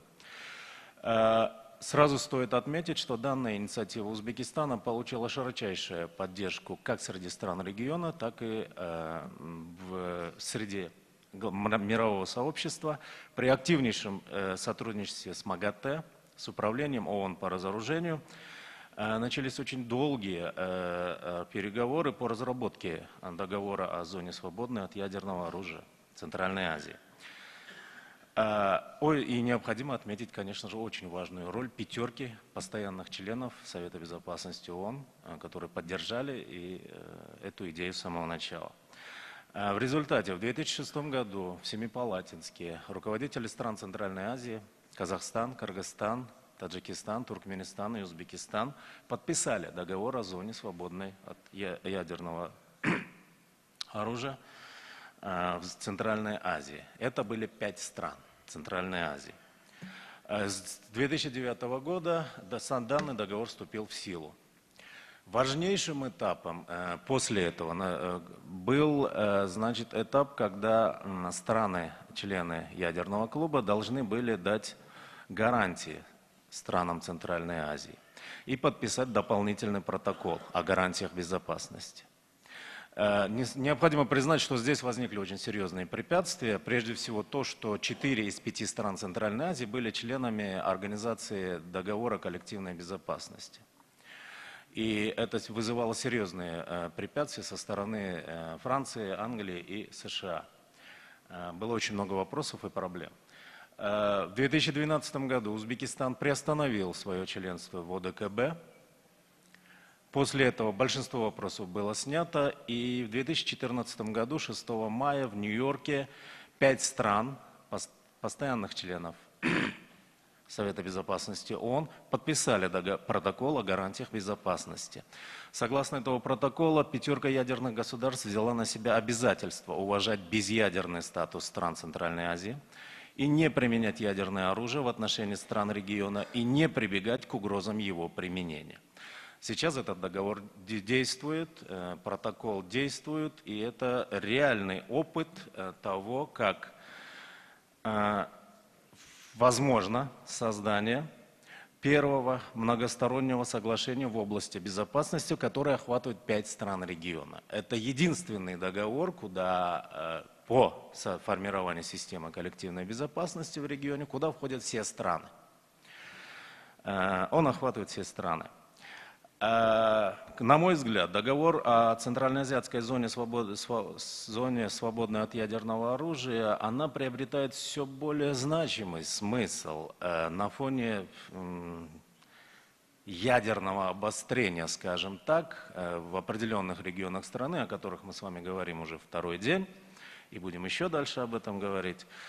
Э, На мой взгляд, э, уникальность этого договора заключается в том, что в условиях, когда в мире сформировался устойчивый миф и стереотип о том, что ислам, он равен терроризму, пять стран Центральной Азии, которые являются преимущественно мусульманскими странами, там преобладает мусульманское население, пять стран с преобладающим мусульманским населением проявили инициативу, выдвинули инициативу, добились того, чтобы этот э, договор был создан, принят, подписан и признан всеми. Эта инициатива пять, пяти мусульманских стран очень значима в нынешнем мире, который полон антиисламских фобий и мифов. Э, Несомненно, этот договор э, сформировал основу региональной безопасности в Центральной Азии и вокруг него. Он играет серьезную роль в борьбе с терроризмом и предотвращением попадания ядерных материалов и технологий в руки негосударственных субъектов, прежде всего террористов. Я еще бы хотел э, показать, что на самом деле это очень легко. Э, Мы сейчас говорим о том, что создан договор э, о зоне, свободной от ядерного оружия в Центральной Азии, и он действует. На самом деле это очень трудная вещь была. Э, Ровно 26 ле- лет назад, в конце августа, в начале сентября, пять стран Центральной Азии приняли декларацию о независимости. Это были молодые, абсолютно молодые, новые независимые государства. Ну, в качестве примера мы можем привести пример Узбекис- Узбекского министерства иностранных дел. 31 августа, 1 сентября, когда была объявлена независимость Узбекистана, весь штат Министерства иностранных дел составлял 5 человек вместе с министром. Но уже в 1993 году молодые государства и молодые дипломатии стран региона выдвинули глобальную инициативу и уже через 13 лет эту инициативу сделали. И это показатель того, что страны Центральной Азии являются ответственными и активными субъектами а, мировых процессов и мировой политики. А, Теперь вторая часть, очень коротко, э, моего выступления. Э, Формирование, до создания договора о зоне свободной от ядерного оружия, она решила основную проблему, но в принципе сама жизнь, сам- сами процессы, э, которые разве- идут в регионе и вокруг него, они э, создают новые вызовы, новые проблемы, на которые нужен совместный э, поиск ответов. Прежде всего, страны Центральной Азии на сегодня окружены странами, которые официально являются членами ядерного клуба, Россия, Китай. Э, Странами, которые де-факто обладают ядерным оружием, это Пакистан и Индия. И странами, имеющими определенные планы в отношении ядерного оружия, э, который то меняется, то останавливается, то опять э, начинает об этом говорить, это Иран. В этих условиях, э, на, взгляд, на наш взгляд, э, Узбекистана, который являлся инициатором договора о создании зоны, свободной от ядерного оружия, необходимо подумать о расширении списка стран, подписавших дополнительный протокол о гарантиях безопасности к договору о зоне, свободной от ядерного оружия. Вчера в своем очень концептуальном выступлении господин Рамусина сказал, что я вот даже записал, новые страны, обладающие на сегодня ядерным оружием, потенциально могут создавать риски для соседних стран. А, Это концептуально очень важное положение, а, которое, ну, по крайней мере, в узбекском экспертном сообществе, оно найдет свое понимание и находит свое понимание. Нам нужно думать о том, чтобы протокол расширять за счет новых стран, получивших ядерное оружие. Вторая, второй вопрос, который с каждым днем будет становиться все более важным и который нужно решать, это то, что регион Центральной Азии является одним из самых быстрорастущих и быстроразвивающихся регионов в мире. Э, В частности, если э, сейчас э, население страны, стран региона, пяти стран составляет 70 с лишним миллионов, то уже к 1940 году население будет составлять свыше 90 миллионов человек, то есть налицо демографический прессинг, который ведет к дефициту пахотной земли и поливной воды в большинстве стран региона. Выход – это урбанизация и индустриализация. Но и урбанизация, и индустриализация потребуют очень э, увеличения, э, очень сильного, э, быстрого увеличения э, объемов выработки электроэнергии. Э, Традиционные источники, работающие на газе, на каменном угле, на, это наши ГЭС, работающие на энергии воды, они имеют свой, э, свои ограничения. Сейчас очень серьезно ставится вопрос о создании атомных электростанций в, в ряде стран региона. И эти вопросы обсуждаются, эксперты считают, делают расчеты, для, э, которые должны показать, как можно э, использовать АЭС для покрытия дефицита электроэнергии, существующего в странах региона. Но этот вопрос э, обсужден. э, Согласно договору о зоне свободной от ядерного оружия, страны региона имеют право на развитие мирного атома. Но каков механизм практический, каковы механизмы обеспечения безопасности при строительстве этих АЭС, э, их влияние на экологию соседних стран, я заканчиваю. Э, Этот вопрос не обсужден до сих пор, и его нужно обсуждать, как в рамках данного договора, так и вне него. И, самая, и третья проблема, которую необходимо ставить в рамках наших э, вопросов о ядерном нераспространении и ядерной безопасности, это вопрос э, проблема урановых отходов, которые остались от советского уранового производства. Э, Это э, хранилища, которые расположены большей частью э, в Кыргызстане и в Таджикистане, в северном Таджикистане. И самая большая проблема в том, что эти хвостохранилища, они на сегодня э, вырабатывают свой ресурс хранения. Э, Все более усиливаются опасности пробития, разрушения плотин, исхода их в реки Центральной Азии, которые приведут к загрязнению почти всего региона. Этот вопрос давно ставится, но, как представляется, сейчас, после того, как мы решили проблему с созданием договора о зоне, свободной от ядерного оружия, главным приоритетом должно стать вопрос предотвращения угрозы эм, от, яр- от урановых ядерных хранилищ. И этот вопрос нужно обсуждать как на уровне региона, так и на глобальном уровне. Здесь требуется очень серьезный диалог. Спасибо.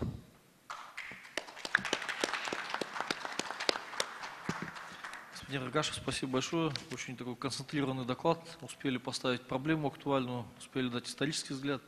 И еще и обозначить три, три такие рекомендации, которые еще долго будут обсуждаться. Спасибо большое вам. Uh, the next speaker, I would like to introduce you Mr. Talatbek Masadikov, who represents Kazakhstan and who was former political director of United Nations Mission of Assistance to Afghanistan. Please. Uh, Thank you very much. I actually represent Kyrgyzstan. I'm from Kyrgyzstan, yes. Yeah. Yes, I said that you represent Yeah, Kyrgyzstan yeah. and uh, And uh, yes, I, I spent many years uh, in Afghanistan uh, and uh, was uh, on political side of special political mission. But now I would like to share my views with you. Uh, uh, probably it would be better if I would uh, share in Russian, and then I would be ready to respond uh, to your questions if you would have so. Уважаемые друзья, вот э, сейчас прозвучало совершенно э, два или даже три, скажем, э, разных мнения по поводу того, как э, Центральная Азия э, и центральноазиатские государства смотрят на Афганистан и как Афганистан смотрит на Центральную Азию. Когда господин э, Мурадян э, говорит о том, что мы, в принципе, одна большая семья, я с ним абсолютно согласен. Проведя практически 15 лет в Афганистане, в Пакистане и в Иране, я понял, что у нас и традиции, и культура, язык а, таджикский и дари в Афганистане, а, наши традиции очень близки, и мы по духу близки. И это правда. Совершенно прав господин Мурадян, что а, в Центральной Азии люди смотрят на Афганистан как-то как угроза на сегодняшний день. И как э, страна, э, развивающаяся, э, племенная, э, неразвитая страна. Это тоже правда. И это, наверное, тоже все, что осталось, э, как он совершенно правильно сказал, со времен Советского Союза. Находясь э, внутри Афганистана долгие годы, э, работая как международный чиновник в Организации Объединенных Наций, я смотрел на проблему, этот конфликт, который разрастался, начиная с 2002 года. В 2001 году, в декабре, в конце года, э, американские войска э, сместили режим талибов. И 2002 год, я начал свою деятельность в ООН в Афганистане с 2002 года, было все хорошо. Но конфликт сам по себе э, и вот силы, так называемые, террористические или экстремистские, они не могут сами по себе развиваться. Кто-то их должен поддерживать и финансировать. Подавляющее большинство молодых людей, которые присоединились к так называемому джихаду, они присоединились значительно позже. То есть 2002, 2003, 2004 год, он был относительно спокойным в Афганистане. Мы, как политическая миссия ООН, начали говорить о примирении в 2002-2003 году, что талибы – это тоже часть афганского общества. Их надо вернуть. И сейчас нужно примирить. И в то время был очень большой шанс. Потому что у них не было никаких амбиций участвовать в правлении государства. У них не было никаких планов воевать с режимом. Они хотели просто вернуться назад и жить совершенно спокойно у себя дома. Не знаю, это была ошибка международного сообщества под предводительством больших государств-членов НАТО. Это было нежелание афганского общества принять своих братьев и сестер назад в свою семью. Не знаю, вопросы до сих пор открыты. И тут, естественно, вот я согласен с господином Мурадяном, что появляется, всегда стоит государство или сила определенная, которая стоит за террористическими группами. Естественно, появились силы. Очень сложные. Вы знаете, когда я слушаю так называемых экспертов по афгано-пакистанскому региону, которые приезжают на неделю, на месяц, а, на два и уезжают, говорят о своем мнении, что происходит так, а, я думаю, это несерьезно. Я провел 15 лет в этих странах сам. И иногда я сам до сих пор не понимаю, что происходит там. Чем больше находишься, тем больше не ответ, э, вопросов, на которых нет ответа. Так вот, хочу сказать, что талибы начали подниматься тогда. Сейчас господин Мурадян э, говорит, что, вы знаете, нельзя считать Афганистан угрозой для Центральной Азии. Господин Хаким Абдулла, он сказал, что э, мы рассматриваем уже Афганистан как нестабильную часть. И он абсолютно прав. На протяжении многих лет я слышал, как мои афганские братья, выступая, постоянно обвиняли Пакистан в том, что Пакистан стоит вот э, за этими э, террористическими акциями, Пакистан поддерживает. Но ведь Пакистан это тоже государство – у которых есть э, свои определенные структуры, разведструктуры, армия, определенные люди, которые тоже получают откуда-то, наверное, финансирование и логистическую поддержку. Я думаю, афганцы были правы, когда говорили, что многие тренировочные центры находились э, в зоне независимых племен Афганистана. Это правда. В 2006-2007 году об этом было принято не говорить. Дипломатически это было неправильно. Я тогда возглавлял политический отдел специальной политической миссии. Приехали коллеги, а, аналитики Центрального разведуправления и Министерства обороны США.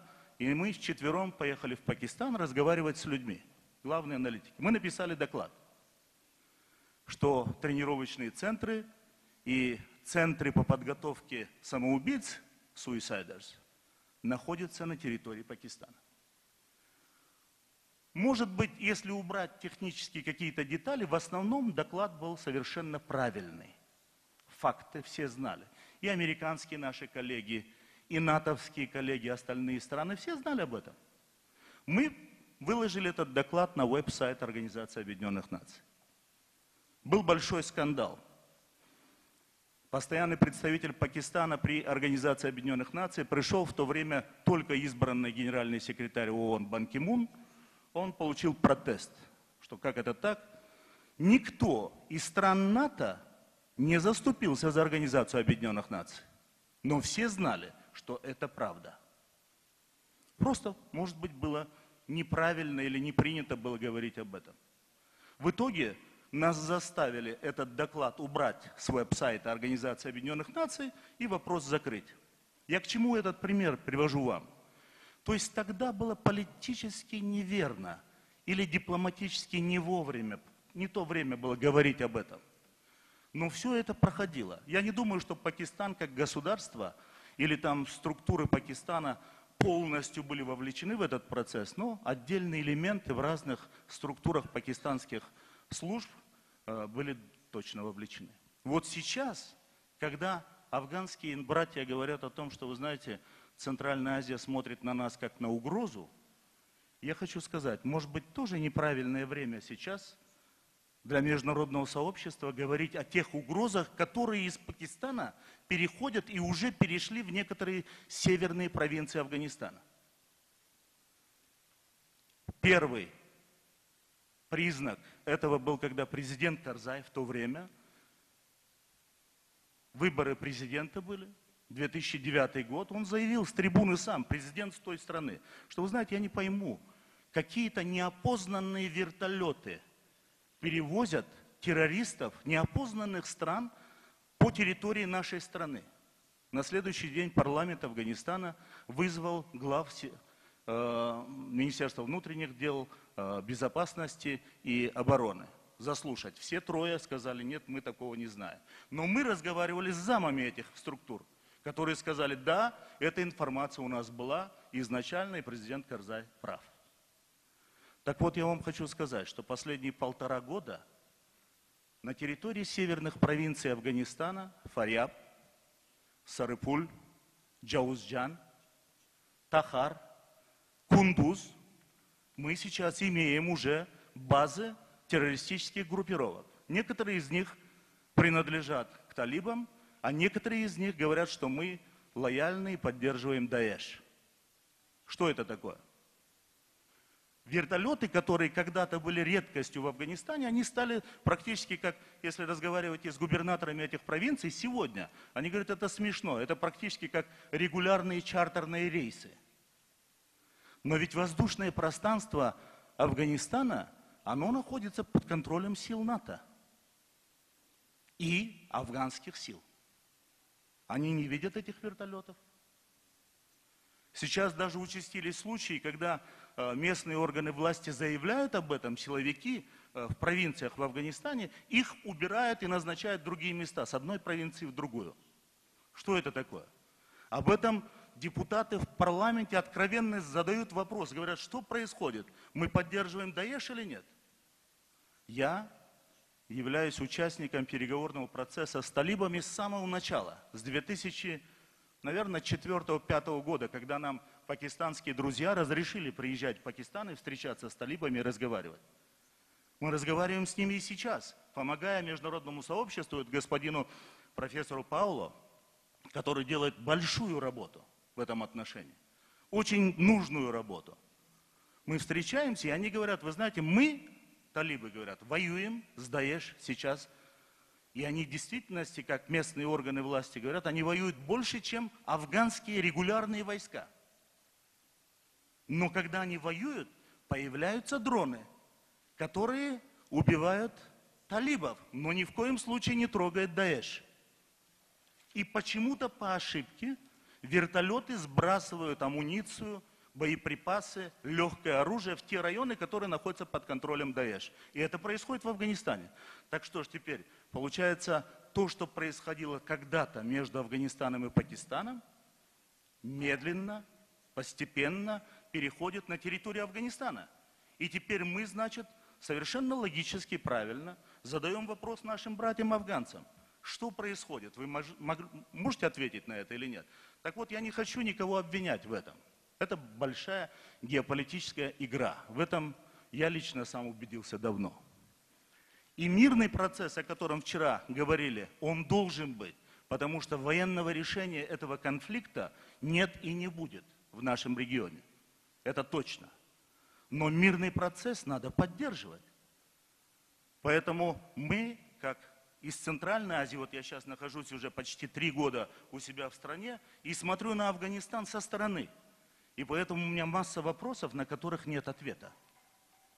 Нету ответа. Я думаю, вот у меня коллеги сидят, афганцы, которых я знаю много лет, и коллеги пакистанцы сидят, и э, индусы, которые знают много лет. Они прекрасно знают эту проблему. Поэтому давайте, э, мне кажется, решение вот этих всех проблем – это мирный процесс в Афганистане, номер один. Это эффективное взаимодействие силовых структур и государственных структур Афганистана и Центральной Азии – это два. Это доверие друг другу, это открыть абсолютно все свои проблемы, выложить на стол и очертить красные линии, которые мы не должны переходить. А красные линии – это интересы каждой из а, стран. Поэтому, я думаю, да, мы должны работать. Ни в коем случае не хочу, еще раз повторяюсь, не хочу обвинять ни Афганистан, ни Пакистан. Потому что мы все в этом регионе, я думаю, нужно совместно решать эту проблему и совместно решать странам региона, а не странам, которые находятся далеко от региона. Только таким путем мы можем принести стабильность и мир на нашу страну, в, на- в наши страны и э, на многострадальную землю афганцев. Спасибо. Спасибо большое, господин Масадыков. Очень было сложно ваш- вас останавливать. Очень интересный доклад.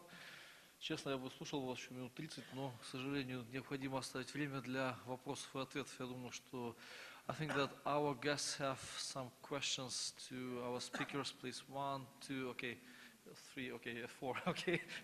Please, uh, the man in the second row, then uh, you, uh, then uh, the lady, and you, please, on the first row. Uh, Thank you very much. Uh, Thanks for the great presentations. Uh, the, uh, I I have a comment uh, on this. Absolutely, since the Daesh is defeated in Mosul, Afghans and Afghan people has a fear. Most probably, they will come over there and misuse the, the land of Afghanistan, and, and, and because there is insecurity, there is some part of the Afghanistan instability. But the people of Afghanistan and the government of Afghanistan is committed that they are going to fight against ISIS because the ISIS agenda is beyond Afghanistan and they are not Afghans. And we all agree that, uh, that the ISIS is provoking sectarian war, which uh, the, there is a no space in Afghanistan. But what we would like from the Center uh, Asia that if they support the Afghan government, if they support the Afghan people to defeat ISIS before ISIS spread, before ISIS gets strong, before ISIS stand on their own feet, this is a great opportunity right now. And plus what we are expecting from the Central Asia to support the peace process. Because if we do not have a peace, absolutely ISIS is going to grow up. ISIS is going to spread, and that's a, that's a serious threat to the Central Asia as well as to our neighbor countries. The question is that since we are talking about the ISIS, how ISIS is, is getting financial support. What I know, ISIS is not getting any aids from the local people in Afghanistan. They, have, they are well equipped, they are fighting very strong, and, and as well as they, they have ammunition, they have everything. It means there are some countries behind ISIS. They have a huge support. I think this is a perfect time that since the Daesh is not that strong in Afghanistan, we have to defeat them, we have to fight against them, we have to support Afghan people, and uh, we have to support the peace process. And plus, there is a little bit, there is a huge difference between Taliban and I- uh, Daesh. Taliban, they're Afghans. Taliban, they, their agenda is only Afghanistan. Taliban is fighting for power, and Taliban has an address. Taliban, we know we are, I mean, like their families, but ISIS, they're international terrorists. Their agenda is beyond Afghanistan. Their interest is beyond Afghanistan. They're provoking the sectarian war. They're creating a serious problem in this region, and that's what I wanted to share in comment. But my question from the is, is, is, is anybody, any organization had a research how Daesh is getting financial support? Fight required huge money, huge equipments, huge support. How they are getting, from where they are getting, that we need to concentrate, that we need to get the right information, and that we need to aware the public and, and show the real face of ISIS. Thank you.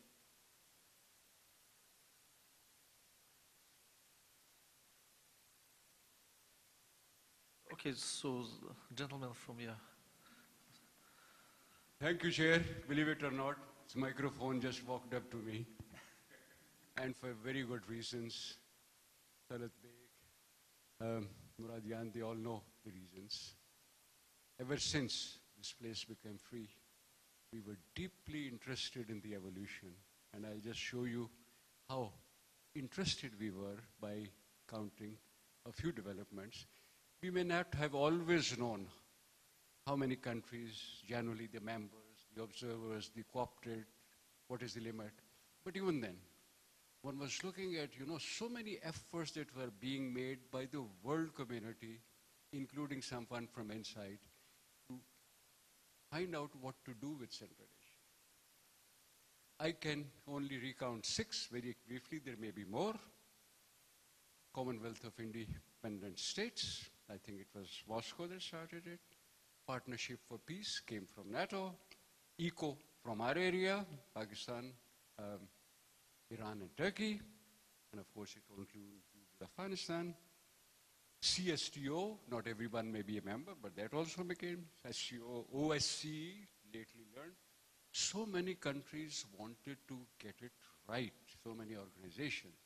The aspiration, the common aspiration that I've heard today is, you also like to know how can we play an effective role? How can we be counted? Not separately, but together.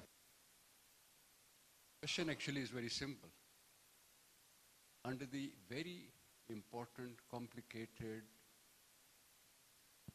circumstances, so many countries from outside inside looking at you, how do you think, are these organizations enough to make you play your role?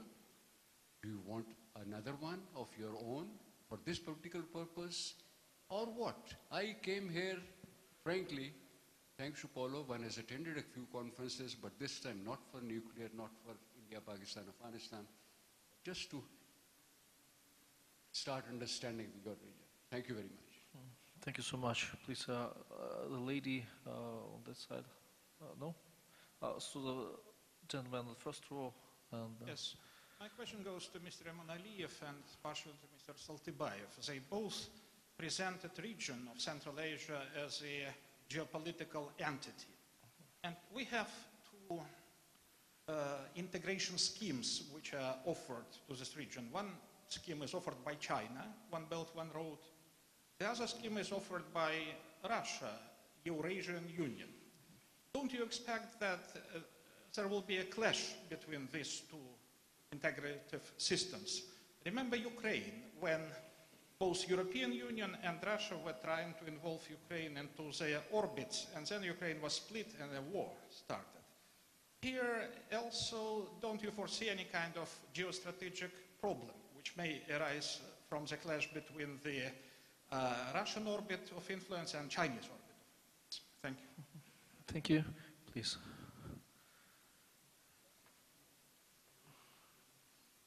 Uh, I'm Khalilullah Safi, peace activist from Afghanistan. Uh, I'm totally agree with uh, Mr. Talatbek Masadikov. He was director of the uh, UNAMA in Afghanistan. Uh, Daesh has been created by someone in South Afghanistan, where is the main basis of Taliban.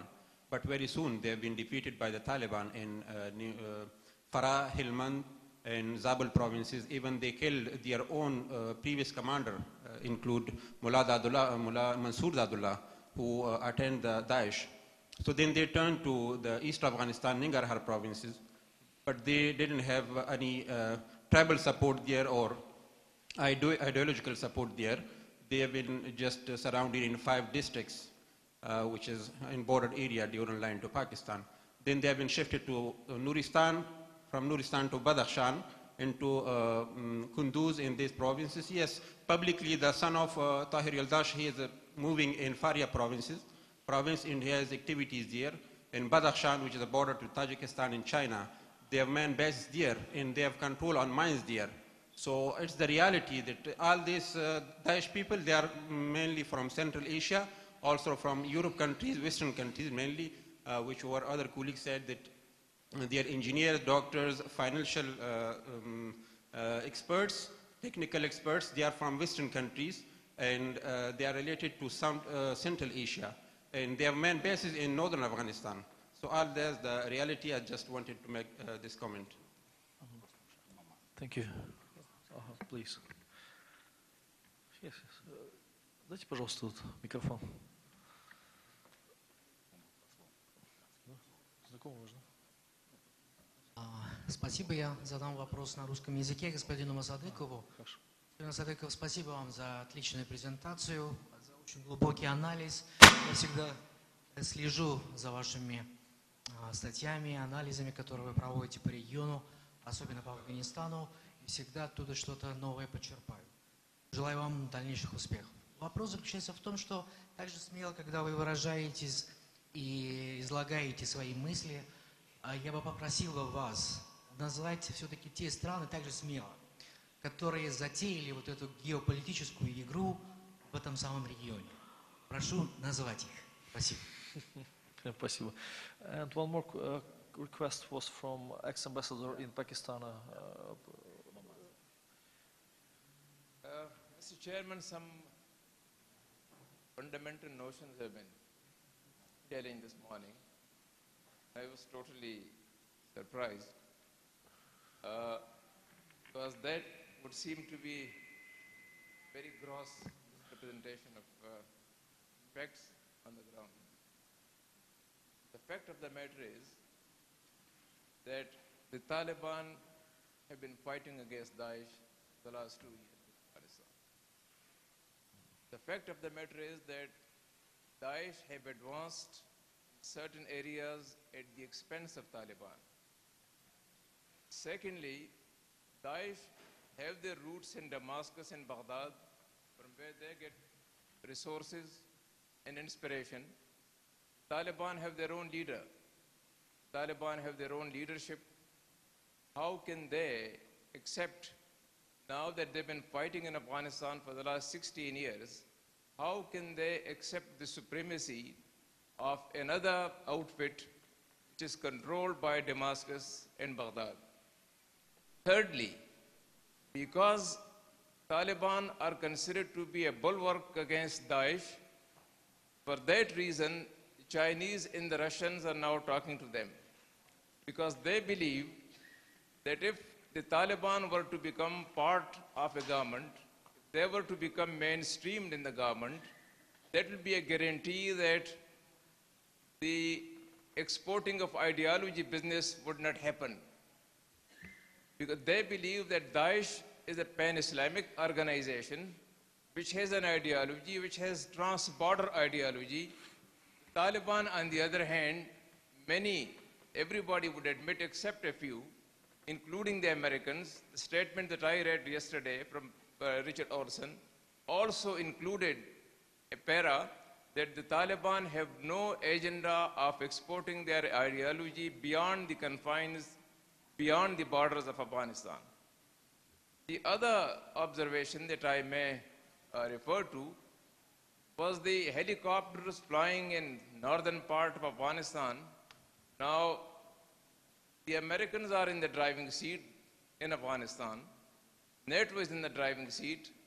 How, in the presence of NATO, helicopters could fly from one province to another without being detected, without being challenged, for what purpose, with what motive, under whose patronage, and why was NATO not exercising its power to challenge them and to shoot them down?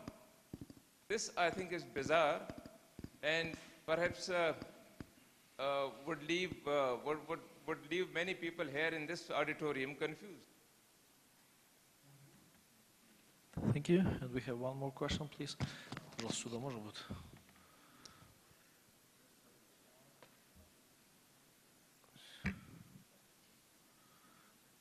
Good morning, thank you. I'm Karen Holberg from Argentina. Uh, very, a very short question. I would like to know what is needed to declare Afghanistan as a nuclear weapon-free country, like Mongolia, or for it to become part of the nuclear weapon-free zone, the Central Asia one.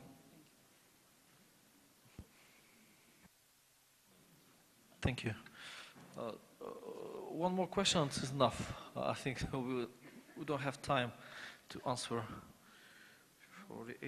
Спасибо большое за возможность. Альбек Иманов, э, Астана, Министерство иностранных дел. Э, Вот если мы посмотрим, очень широко обсуждается сейчас проблема Даиш, и она была освещена широко.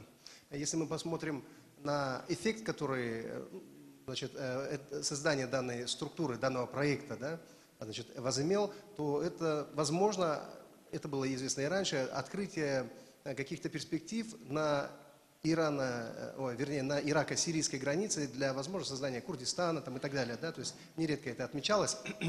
Вот если сейчас мы видим эм, э, транзит, да, скажем, и переезд э, Даиш, перенос их активности, э, опыта и энергии на территорию Афганистана, приграничную, причем обязательно в приграничную с какими-то другими странами зону, то, может быть, здесь мы тоже должны иметь э, версии о том, что это как бы неспроста, да, то есть проект создается для того, чтобы открыть двери для чего-то еще другого, да. Просто по мнению спикеров, вот какие проекты э, может нести в себе перенос Даиш на территорию Афганистана, приграничие с Пакистаном и другими странами Центральной Азии. Спасибо.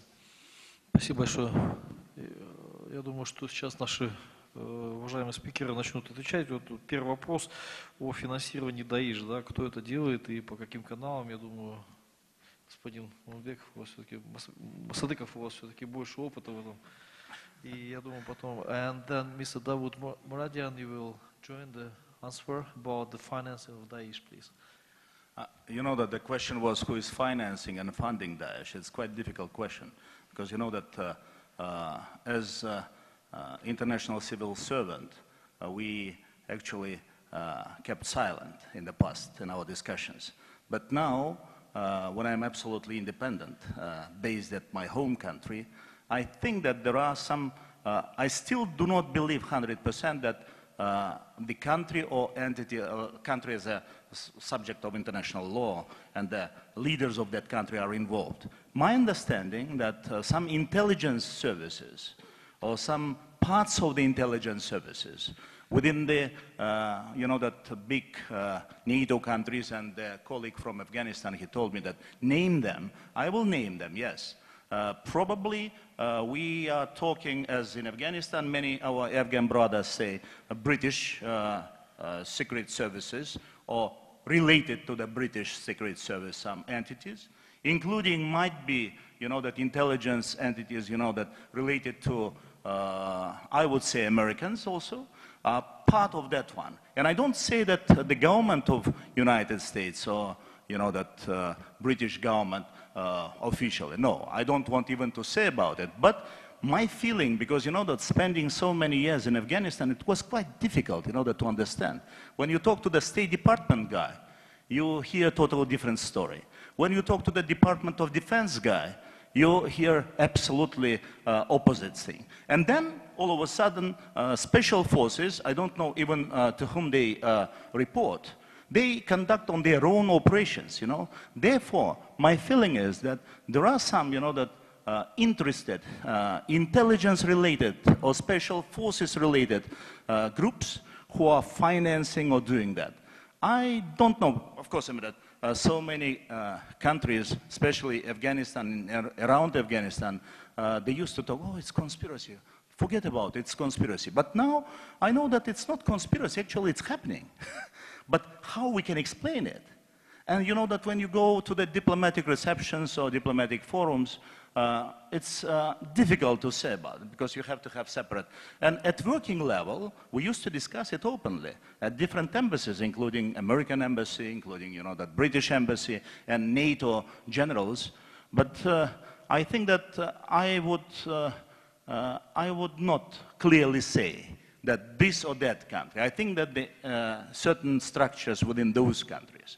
And therefore, I believe that even the leaders of those countries, together with the regional countries, can sit down together, can, uh, you know, that put red lines saying that this is our interest, and then, uh, you know, that uh, find solutions. And solution is, as I mentioned, I will repeat probably, that what uh, uh, Mr. Uh, Paola, uh, Professor Ramosina does, uh, and is doing, has been doing so long, that we have to do some peace start and really bring peace dialogue in Afghanistan. And then, on behalf of the Central Asian states, I would say that uh, probably I would agree that we are still far, but uh, uh, as Mr. Uh, Iman Aliyev said, that, you know, that we don't see that kind of threat. But threat can come very quickly, in one or two years. And this is, please, uh, believe me, I saw it many, many times. Thank you. Спасибо большое, мистер Muradyan. Uh, Add something. because, uh, again, uh, uh, I'm a vegetarian and I am a fri- I have a friend in London who has a kebab shop. So whenever I go to London, I inv- he invite me to kebab shop. Now, to be here and in such a pro-Taliban environment, I feel that uh, I'm again in a kebab shop as a vegetarian here. Anyway, I have learned to be patient here. Just a number of uh, a quick observation here. Uh, the, again, about the similarity. If uh, uh, we recall our memory three years ago about the Daesh, the Daesh was seen as sectarian issue, as Sunni rebellion against Shia majority rule. And there was a huge sympathy in many parts of the world about Daesh because they saw Daesh as representing the grievances of, of the Sunni. And as His Excellency members of Parliament says from Mosul, earlier the Sunni, they had that sympathy. In Afghanistan, we have the same among the Pashtun, that they saw the Taliban as representing the grievance and aspiration of, of the Pashtun against non-Pashtun. Uh, here. Whereas now it changed now. It changed now. Uh, three, four years ago, there were a lot of sympathy among the Pashtun elite in Afghanistan about the Taliban, representing President Karzai, who characterized uh, Taliban as his upset brothers.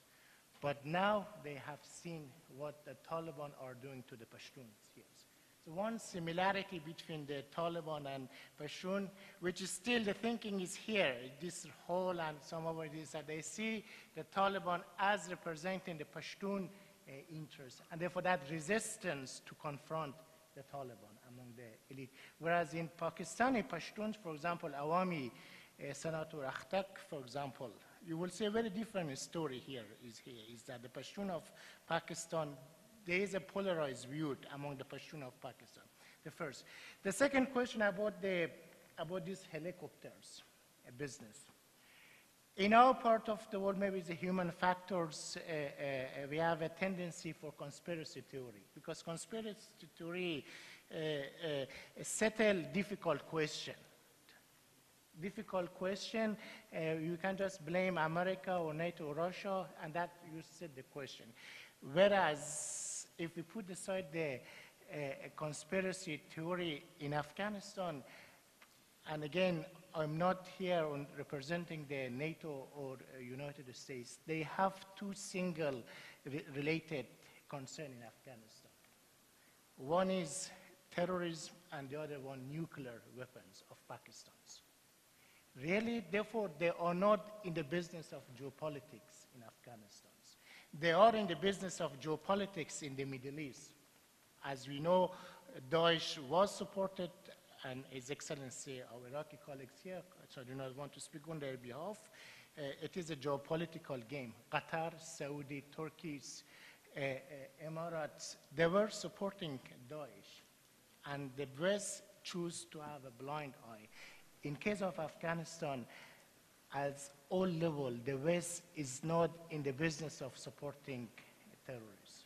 This helicopter business, it is a fake story because there are a number of companies that uh, run helicopter business.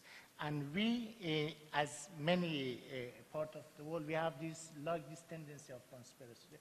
There is no helicopter in Afghanistan supporting Daesh eh, here. Eh, the, the other observation. Yes, there is a fight between Talib and Daesh. Again, example of eh, a Mujahideen time here. There were a lot of infighting between Hizb Islami and Jamiat Islami. But the internal fighting among this group is not about the ideology, it is about geography and powers. Again, in Mosul, in Iraq, Syria, we have a lot of infighting between Daesh, Ahrar al-Sham, and Al-Qaeda. Would we characterize them as separate, independent uh, characteristic here? Therefore, if there is a fighting between Taliban and Daesh, that does not mean that they, they are fighting over the ideology, they are fighting over resource and geography. And my last point is that here is that uh, uh, uh, as long as we continue to have this intellectual disagreement about who is Talib, who is terrorist, uh, we will lose the intellectual battle. And losing the intellectual battle man, we will, means that we will lose the military battle here. Therefore, it is important that we come to a united stance against all terrorism, uh, from Taliban to Daesh to TTP to Israel. Thank you, sir. Thank you so much. You know, the second question was uh, about the role of security organizations in the region. I think that Mr. Manaliyev, who was the chairman of Shanghai Cooperation Organization, could answer this better than anyone. Господин Маналиев, пожалуйста, могли бы вы ответить на вопрос о том, как можно повысить э, эффективность и роль э, региональных организаций по безопасности? Ну, я с большим скептицизмом отношусь к разного рода региональным организациям Центральной Азии, поскольку большей частью эта организация существует как некие конференции глав государств, не более того. Я имею в виду, в данном случае, конечно, речь идет о том, что эти э, международные организации не имеют ни одного проекта в этом регионе, к большому сожалению. Как э, здесь был вопрос по поводу Украины, я хотел ответить. Значит, э, я не хочу говорить о разного рода интересах тех или иных сторон, я имею в виду Соединенные Штаты, Европейский Союз, Россию, насколько они эгоистичны, либо наоборот. Я хочу сказать, что одна из проблем, это, конечно, проблема, существующая на Украине. Э, к большому сожалению, надо признать, что они совершенно идентичны или, во всяком случае, в основных своих параметрах схожи с теми проблемами, которые существуют во многих странах СНГ. Прежде всего, конечно, это вопрос создания или строительства национального государства. Этот вопрос был снят с украинской повестки дня – Второй вопрос – это создание поликонфессионального многоязычного украинского общества. Этот вопрос тоже был снят с повестки дня. И, наконец, последний вопрос – это конструирование украинской идентичности, национальной, который был также снят. И прежде чем играть в эту игру «Восток-Запад», нужно было решать эти вопросы.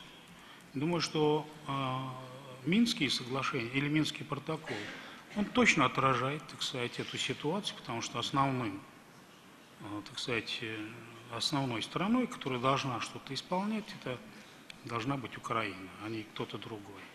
И в этом смысле, так сказать, Центральная Азия не является, так сказать, регионом, который выходит э, за пределы этих вопросов. То же самое и здесь. Спасибо большое.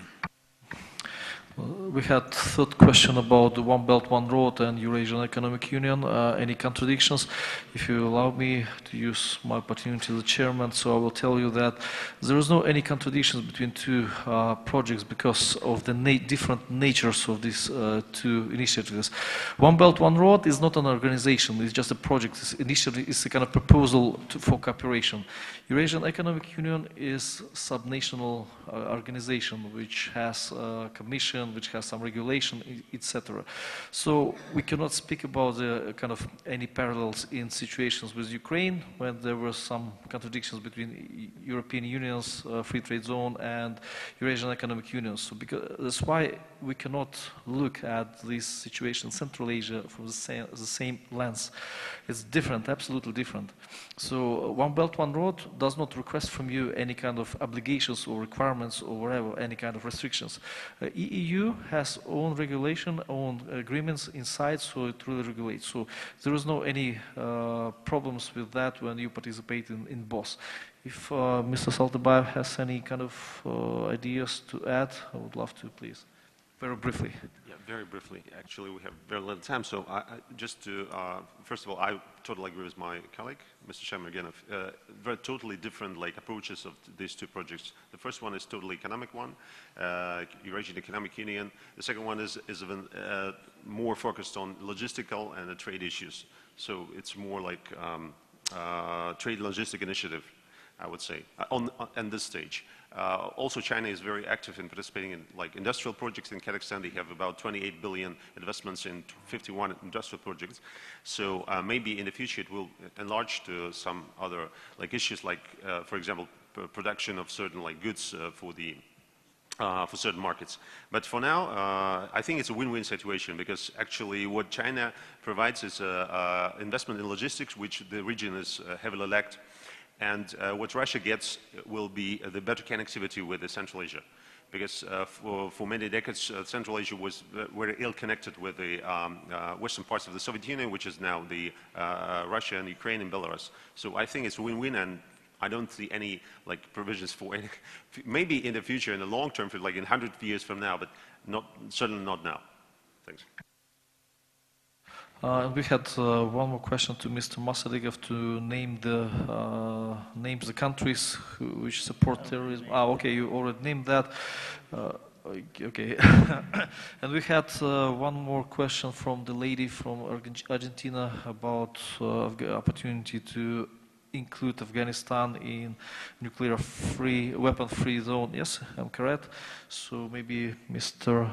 Rogashev could answer this question because his speech was devoted to us.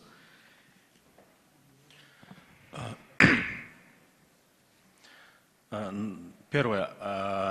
На самом деле этого вопроса сейчас в практической политической плоскости нет, он не стоит о том, чтобы Афганистан присоединился к зоне свободной от ядерного оружия в Центральной Азии. Я не уверен, что в ближайшей и среднесрочной перспективе этот вопрос будет стоять. А, вы говорили о том, что у Монголии статус страны свободной от ядерного оружия, и возможен ли этот статус в Афганистане. А, есть три вещи, на мой взгляд. Это согласие между элитой и народом, а, что такая идея нужна. Э, второе. Наличие серьезного э, стратегического видения в правительстве страны, в дееспособном, эффективном правительстве страны, которое принимает решение стратегическое, что это нужно стране. Э, и третье, наличие, опыт создания зоны свободной торговли в Центральной Азии показал, что очень важно, чтобы если не весь ядерный клуб, то, по крайней мере, его ведущие игроки, несколько его ведущих игроков стали своеобразными помощниками, локомотивами да, этой идеи. А, без этого очень трудно. Ни одно из этих трех условий в условиях Афганистана не соблюдается, и поэтому вряд ли можно сейчас говорить о том, что в том или ином виде это можно сделать в Афганистане. I guess we already extended our time limits, you know, and we need to uh, go to our lunch time. Uh, we had a couple of questions about Afghanistan situation, about Daesh and other things. Uh, I think that our speakers had more, more than enough for the details about that, and I think that you will have opportunity to ask uh, these questions and listen to the answers during the lunchtime. time. I'm very thankful to you all for your attention, for your uh, patience, and I'm very thankful to our speakers for the details uh, in their presentations, for the interest, interesting reports. Let's uh, say them thank you so much, please.